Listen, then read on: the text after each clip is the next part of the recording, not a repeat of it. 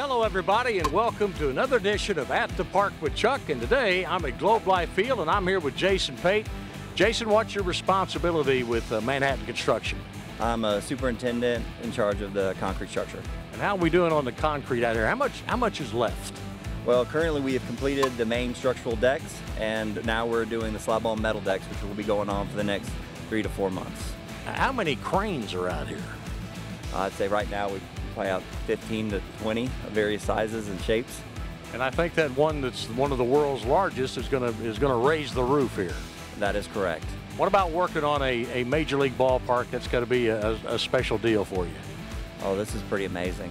Um, I've worked on some pretty large projects, but this is definitely the biggest. On any given day, how many guys do we have out here working on this project? So right now, we're running about working 22 hours a day, give or take, in different shifts, and overall, we're looking at about 1,200 people. And from everything that you've seen and everything that I've heard, this is going to be a pretty good place to watch a ball game. Oh, it's going to be amazing. Jason, thank you very much. Thank you very much. That's Jason Pate. He's with Manhattan Construction. This has been another edition of At the Park with Chuck. Hey, don't forget, it's always baseball time in Arlington, Texas.